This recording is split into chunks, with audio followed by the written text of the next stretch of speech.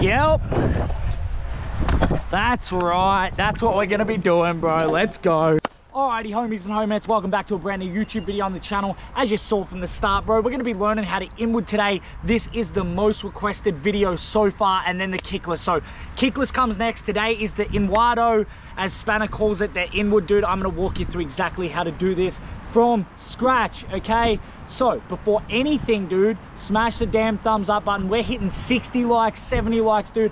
I need the whole army to just smash the thumbs up button. And also, do me a favor. I need the watch time to increase, dude. So what you need to do, even if you lost interest in the video, keep it playing all the way, bro, please. And drop a comment down below with your tutorial ideas or any other videos you want to see. Let's have a conversation in the comments. Let's get into it. Oh, and cop some merch, bro. Let's go. Where you at? Get some merch, dude. Let's go. Yeah, jeremymerrin.com merch. Link down in the description, dude. Code Copper Royalty T or a string stringer singlet, dude.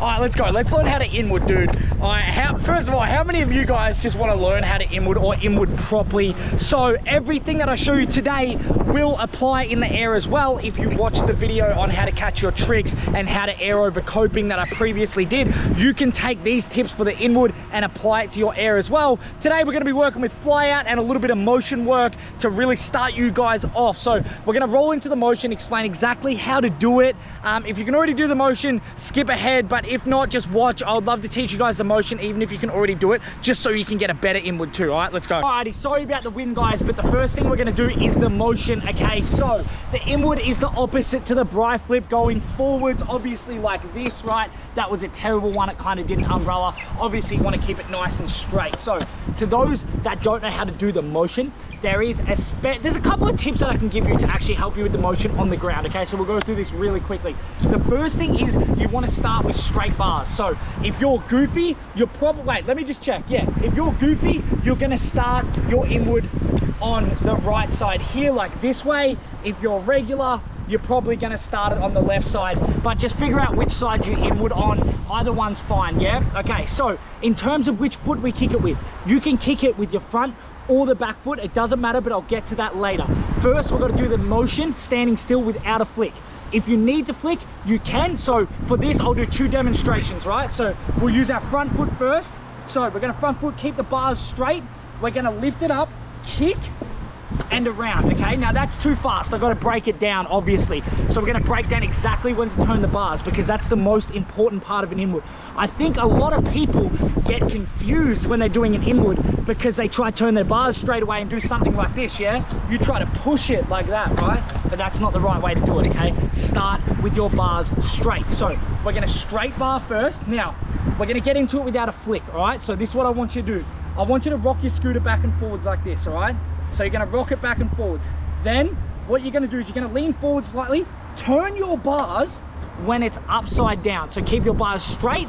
When it gets to about this part here, you're gonna turn your bars on this angle and that's gonna propel it forward and your bars are gonna turn back automatically. You don't need to think about this, all right? The turning back of the bars happens automatically. So one more time, we're gonna swing. One, two, on the three, upside down, over and down, and we'll catch in our back foot just for the motion purposes, all right? Now, the next thing is, is how high do we keep the inward, right? So when doing the motion, I would love it if you guys can keep it on your hips. If you're a little bit smaller, you're gonna go a bit bigger. So if you watch where my bars stay, they say somewhere between my hip and my nipple, somewhere in that point. If the inward goes to shoulder height, it's gonna be very difficult watch. Ready? So I'm gonna swing, keep it nice and low, straight down. Now watch happens if I go up like that, right? Your arms are too extended and that's why you guys can't inward fly out, yeah?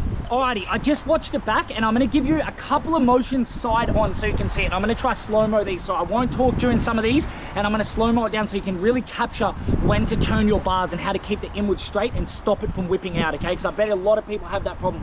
I can guarantee the two problems are you don't know when to turn your bars and you can't fully get it around because you're, you're going too high, right? So let's turn to the side, all right?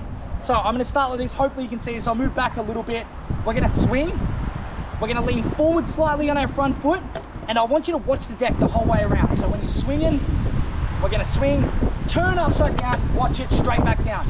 If you can't catch it in one foot, just try put it back down. So we're gonna go over and just put it back down, just like that, all right? Just do that. Now we're gonna do a couple slow mode.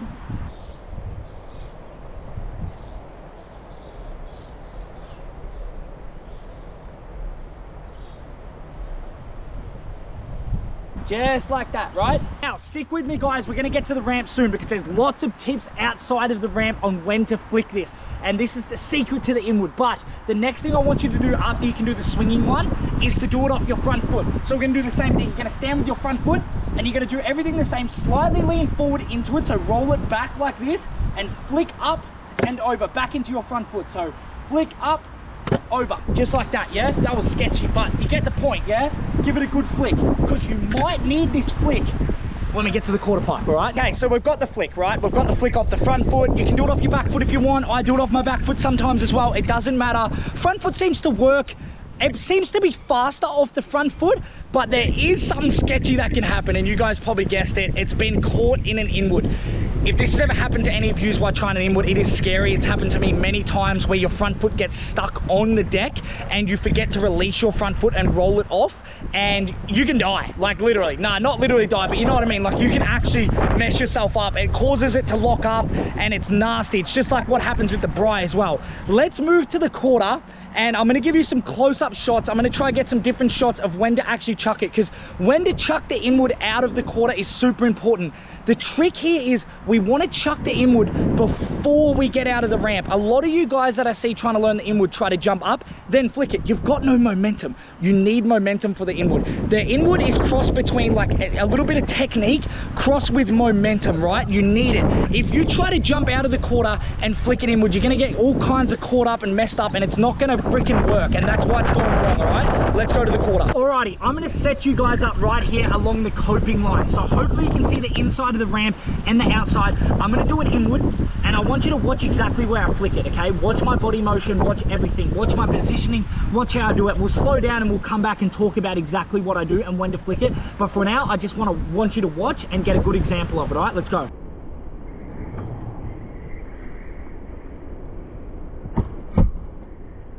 let's see if you can figure out the main the main thing about the inward just from watching that clip if you noticed it right the first thing it's it's actually kind of the same as a front flip to be honest with you like it's the same technique as a front flip you don't want your front wheel to leave the ramp if your front wheel leaves the ramp, it makes it incredibly hard. So I wait to the peak. I'm very skilled at the inward, right? So I would suggest for you guys to throw the inward maybe an inch before the coping. I throw it like just a couple of mils before the coping and that still gives me enough momentum because I can also jump up. But for you guys, throw forward before you hit the coping. Don't let your front wheel leave the ramp. Trust me, that's gonna help a lot, all right? Alrighty, let's go to some point of view so you guys can see exactly what I see when I do an inward. A couple of these clips are gonna be slowed down and don't worry guys, we're gonna cover how to land it and what method to use to land it if we're gonna catch it, if we're gonna stomp it and all that. So I'm gonna, I'm gonna show you which method you should use to land your first inward or to land your inwards better. All right, let's do a point of view version here. I'm gonna try throw the inward a little earlier. Now, I pointed my GoPro down. Hopefully you guys can see the wheels leave the ramp. I'm gonna watch my scooter the whole time, so I think you guys will be able to see it. We're gonna pop up and forward, and I want you to watch my body positioning, all right?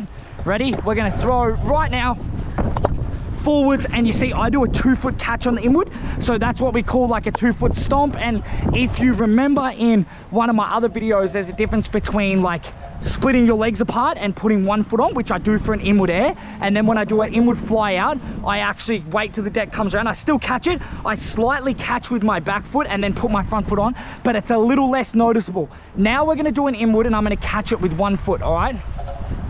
Same method though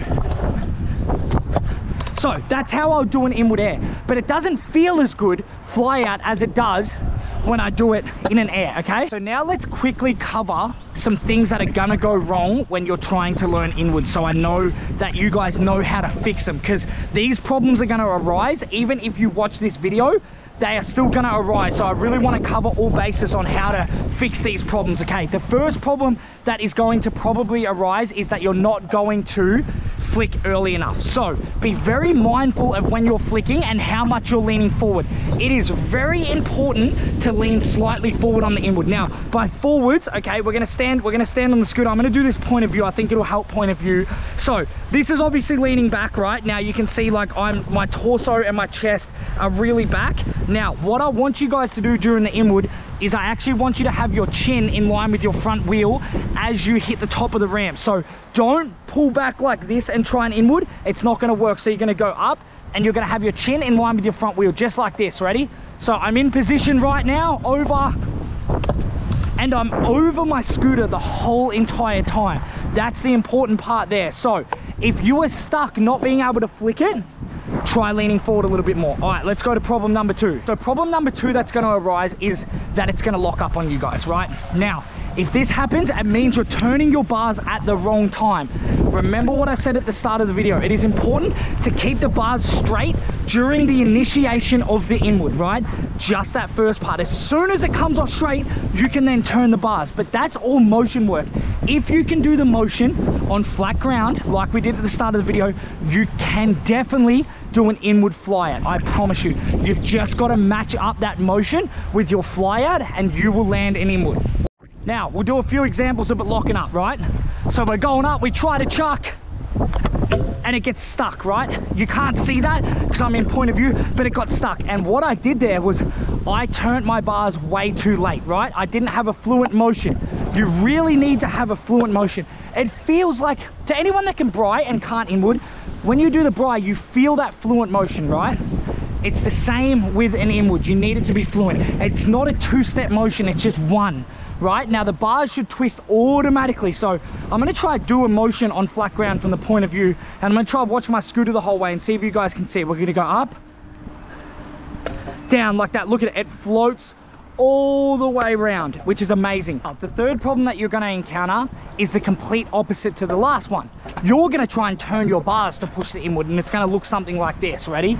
You're gonna come up, you're gonna turn, and that's art. You see, you should be able to see that so easily. So if you come up the ramp and you try turn your bars, what actually happens to you is your body turns. So you end up trying to inward on the side like this, which makes it damn near impossible to come down properly, all right? So remember, straight bars, let it come naturally, let it turn naturally, right?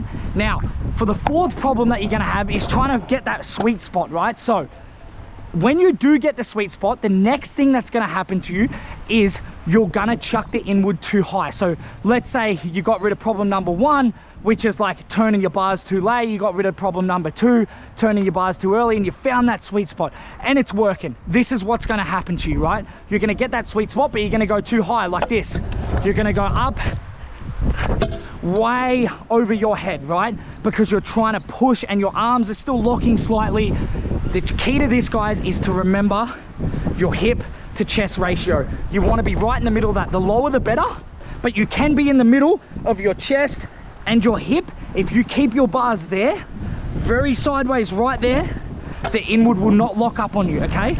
Now, the positive about flicking it too high is you can still land it. A lot of people land their first inwards going super high like that and then slowly adjust it later.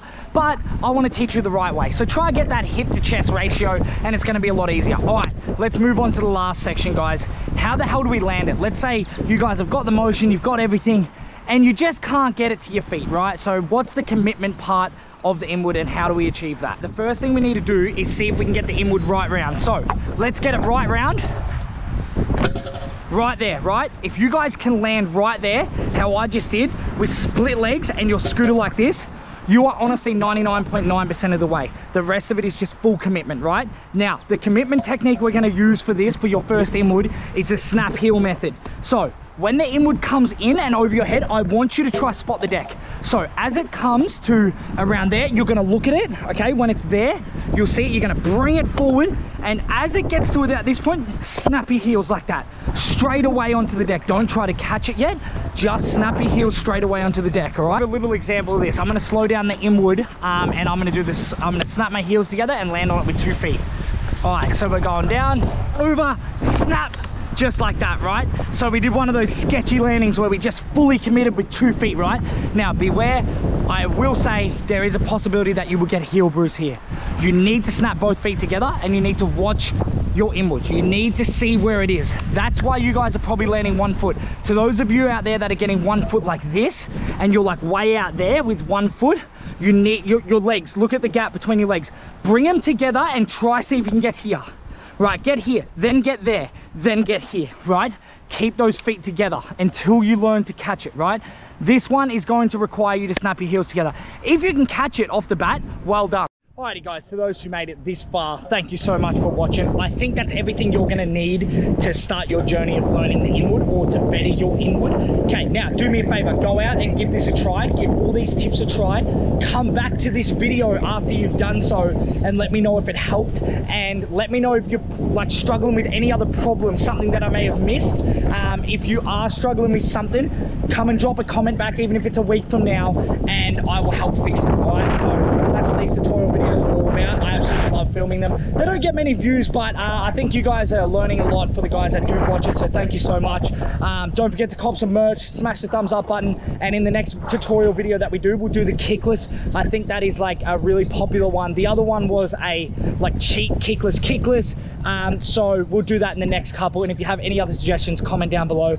And also, leave a comment right now if you made it right to the end. Let me know if you made it right to the end. Thank you guys for watching. I'll see you in the next video. Peace.